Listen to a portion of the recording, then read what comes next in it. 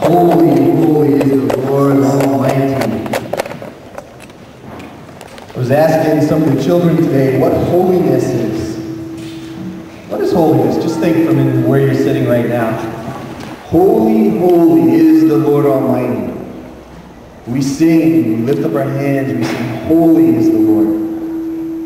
What does it mean that God is holy? Holy. It's a place we want to be. Presence of the holiness of God. I asked, who's the holiest person? the holiest person that you know. And the way little children are so wonderful, uh, they said, Pastor. No, they said, uh, few of them did. But um, they right away said, Jesus. Isn't that cool? I said, who is the holiest person that you know? And they didn't say, like, didn't say, who's the holiest person that you know about? I said, who's the holiest person that you know? And Christians, we should say, Jesus, because we do know Jesus. And how are we as sinners made holy? When we're in Jesus, right? When the Holy Spirit is in us and we are in Jesus, the holiness of Almighty God is given to us, is imputed to us. And so positionally, we are separate also. We're separate from that which is sinful. We're separate from the world. We're separate from that which is dying and condemned. We're holy in Christ. And the Spirit of God, the Holy Spirit of God in us, unites us with, with our Creator. And so holiness isn't some gray-haired old man like me, you know, looking holy somehow. Holiness is, is perfect unity with our Creator being embraced covered by the blood of Jesus Christ that, that eliminates, removes our sin. It's a state of a state of peace, a state of rest. It's a state of life. It's everything good that we, every place good and everything good that we want, every place good that we want to be. It's, it's the holiness of God. And God calls you his holy, his holy children. You have the Holy Spirit within you. That's something to celebrate today. Something to seek after and pursue, though, because we're not always wholly holy, right? We're not always entirely holy. One day we will be. Positioned where we are. One day, mind, soul, spirit, and body will be holy. Right now in Christ, our spirit has been made holy. It's been made alive, united with Christ in the heavenly realms. We're seated together with Christ in the heavenly places now. One day, completely, we will be holy when we see Jesus face to face. Until then, we move in and out of the experience of holiness. And one of the reasons we come together is because when we experience holiness in our minds and our emotions as a result of our will and the grace of God, it's a wonderful place to be. And we try to stay there as long as we can. At least you've experienced holiness like I've experienced holiness, the experience of holiness is someplace we want to be and we want to stay. And so we're going to be talking about that a little bit more today um, through the scripture holiness. Now, we also are drawn to the holiness of God when we hear the experiences of others. Right? Didn't the Holy Spirit give us the experience of brothers and sisters through the pages of the Bible? Um, and their life experiences that help us desire the holiness of God the way they experienced it. And when we're together in a room like this, uh, there's some of you here who might have some testimonies that can help us move towards either the desire and prayer for holiness and even, even the disciplines necessary by God's design to help us experience that holiness here and now. So do you have any testimonies from this past week? Any, uh, any expressions of this holy God that came into your life in a special way that could be an encouragement or a challenge for us? God sightings. I was reading one Jewish writer and he was saying that um, in this life, uh, God is holy and he transcends the world because his holiness is different than his creation. He is the creator of all things. So he is distinct in his holiness. No one is holy like God. We can only be holy as the created, created beings of a holy God. So in this world, we look for, we, we have God sightings. We look to see where God is interacting in his holiness with the sinful world. Any God sightings this week? that you'd like to share? Kristen, thanks. I've shared this in our Sunday school class with several individuals. I work in a nursing home in, in um, Staten Island that's owned by Orthodox Jewish um, people, and the administrators are Orthodox, and, and um, some of them are Hasidic, but most of them are Orthodox. Um, our administrator, his name is Aaron, he has Lou Gehrig's disease, um, and he's, he's dying in front of our faces. I mean, you know, we see him every day, but he persists to come. He can hardly speak and can hardly move. Very intelligent, very loving man. And um, it dawned on me a couple of weeks ago that God, I've become very close to him through the last um, several years he's been there and do a lot of extra special projects for him. And, and it dawns on me going to work one day says, oh God, that's why you put me there because you want me to speak to him. So I'm praying for that opportunity before he dies that um, I can share clearly the um, plan of salvation with him because we've spoken about our faiths and what we believe and speaking to a lot of these, most of the gentlemen, um, they do love the Lord and they're following the Lord to the best that they think that's what's going to get them and they're waiting for Messiah to come and, and they know what I believe but we never really talk that much about it. So, but um, God's given me a challenge and and thankfully, as I praised him a few weeks ago, I have a staff also that are believers, so that there's a core group there that really strengthen one another. But just pray that God uses us at the right time, that we catch that opportunity and, and don't let it go so that we can share. So pray for Aaron. Um, young man has three young children. He's only 36 years old. He probably won't live for more than another year or so. And, um, and then I have the opportunity to really share with him. Okay. Thanks, Tracy. Now, I should see some pens, unless you have much better memories than me. I should see some pens and pencils writing the name Aaron down, okay? Aaron, can you remember? How are you going to remember that? Or at least take a mental note to really be praying for Aaron. Here's, here's a man that God has placed in Chrissy's path. Chrissy is our family. She's our sister. And her heart is breaking for her coworker. And there's an openness. Salvation doesn't smell like death to him. And there's a, a fragrance about the gospel lived out in Chris's life that he's attracted to. And, and uh, so please, let me see, uh, who, can I have two people who will say, I'm going to pray for Chrissy every day until Aaron gets saved or his life ends. I'm going to be praying. We got Julie and Rosalina and Maddie, so we got three. All right, so Julie, Rosalina, and Maddie are going to remember as best you can. Put a note on your calendar, a note on your refrigerator, on your bathroom mirror, whatever you put a note to pray for Aaron and to pray for Chrissy as, as she reaches Aaron um, with, the, with the gospel. God, go ahead. I'm not one to witness to people. I find it very difficult. But God places you when you least expect it. I went and bought a storm door this week in Lowe's. And when I went to pay for it, it was this young man, he's about 29.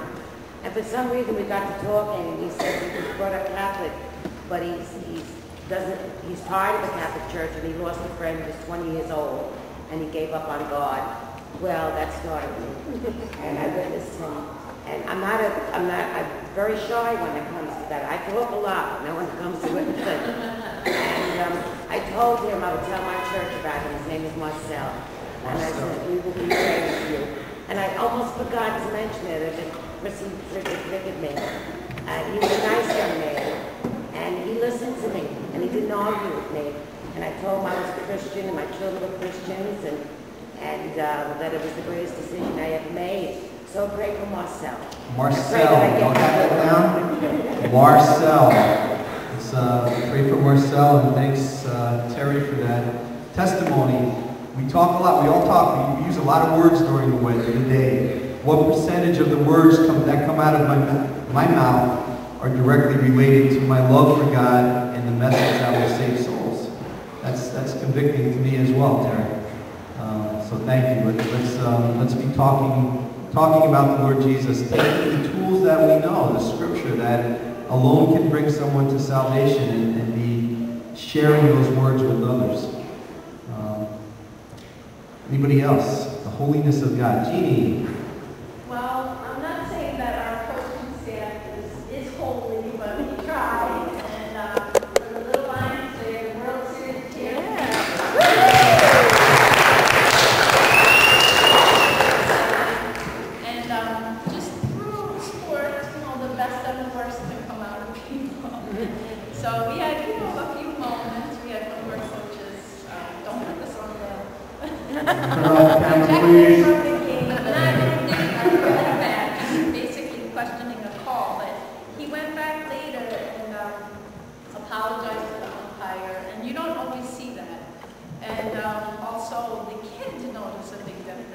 because, um, you know, they see the other cultures cursing at the kids and yelling at them and telling the kids to boo and things like that. But on our team, that's not acceptable and it's not anything that we allow. So the kids really notice the difference and I'm really proud of all of. All right. The coaches of the team are wholly in their relationship with Jesus Christ, and we sure are becoming holy. It's, it's interesting, and, and as I was reading about holiness this past week and immersing myself in that wonderful, uh, wonderful subject, I was reading about the history of the quote-unquote holiness churches. Um, and among quote-unquote holiness churches, of which I have some wonderful friends who are sisters, brothers in the Lord, um, who are part of that movement, but um, they, they said that sports had nothing to do with holiness. And in fact, when sports entered some churches as ministries, they said they were no longer holiness churches. They couldn't be holiness churches because of sports.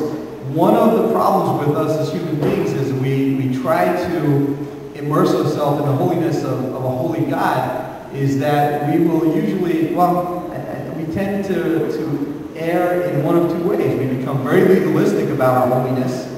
This is what holiness looks like, right? This kind of haircut, this kind of dress, these do's and these don'ts.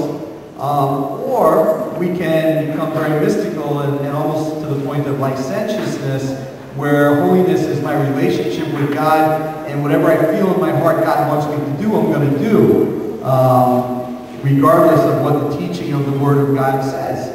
And so both extremes, the, the, human desire, within every human being, there really is a desire, a God-given desire, because we're created in His image and likeness, to, to have a relationship with God. He's placed eternity in our heart. And yes, sin has perverted that, and sin has deadened the spirit, but we still retain the image of God, even after the fall and after the flood of Noah's days. The descendants uh, who came through the flood still had the image and likeness of God. You read Genesis chapter 9.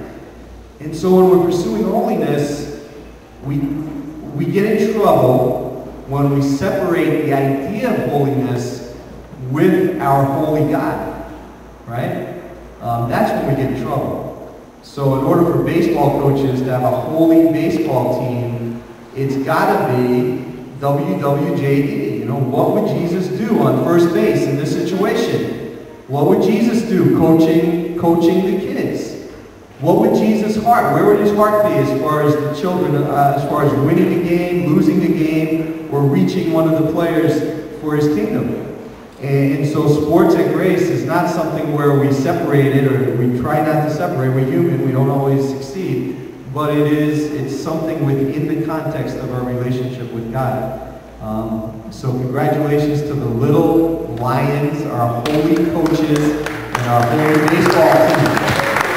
They won the World Series. That was really huge.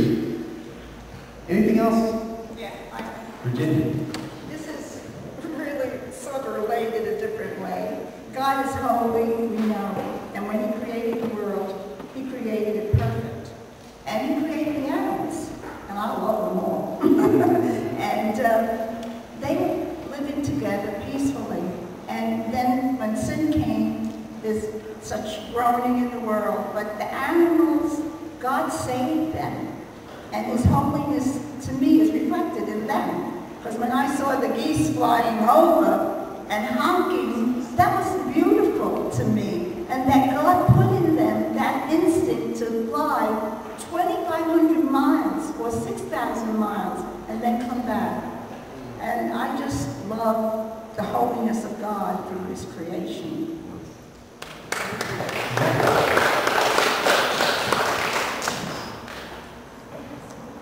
Something else. Go ahead, Chrissy.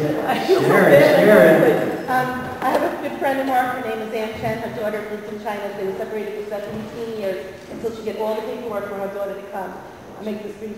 She came over a year, about a year ago, the, year at the end of June. She became a Christian when she's here. She's taking cl- English, class, English classes at a church, and she decided to go back to China.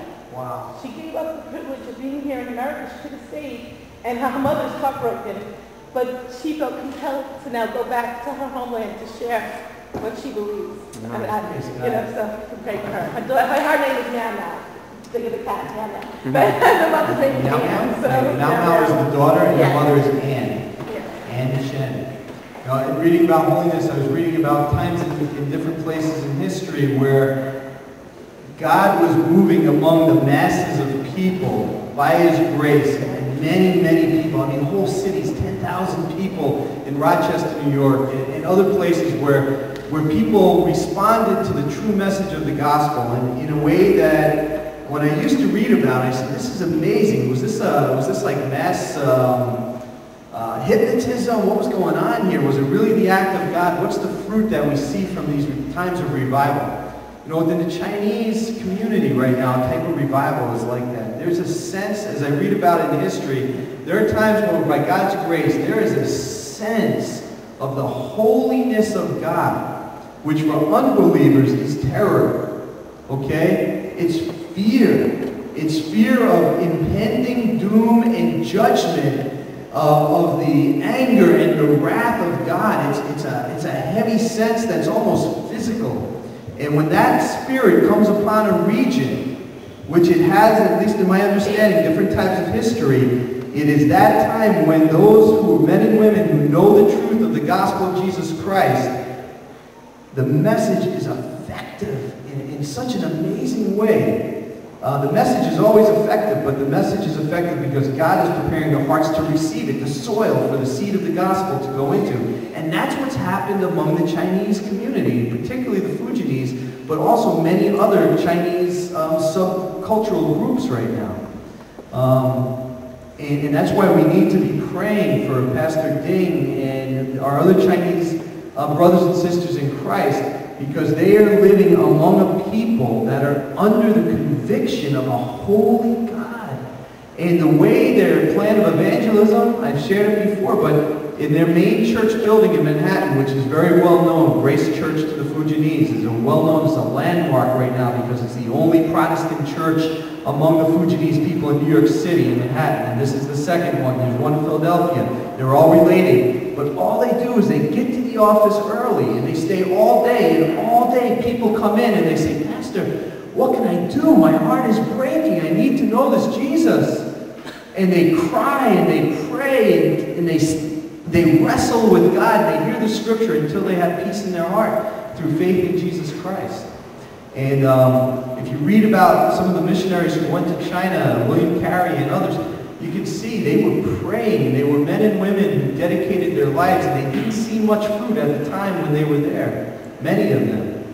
But it was through their prayers and through their holiness that I believe now we're seeing a revival like this. And when I go to Pastor Ding, you know what I say to him?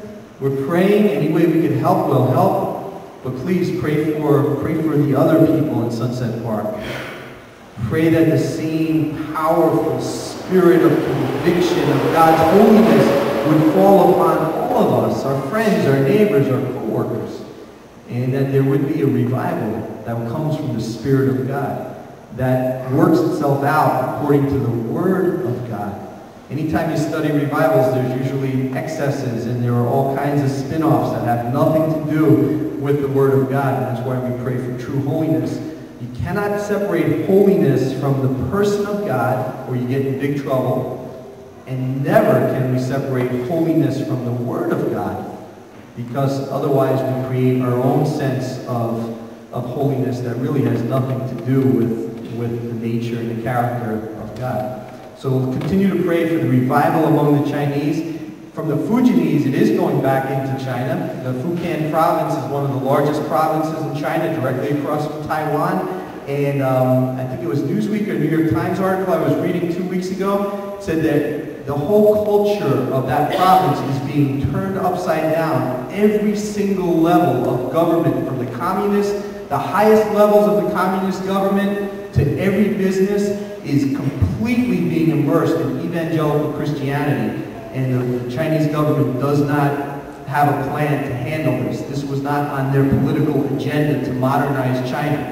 So um, God is working in a very powerful way um, in China right now. So let's keep Ann Chen, who's going back to China, as a missionary in our prayers. And praise God that she came here and found the Lord. Now she's going back. That, that's, that's awesome.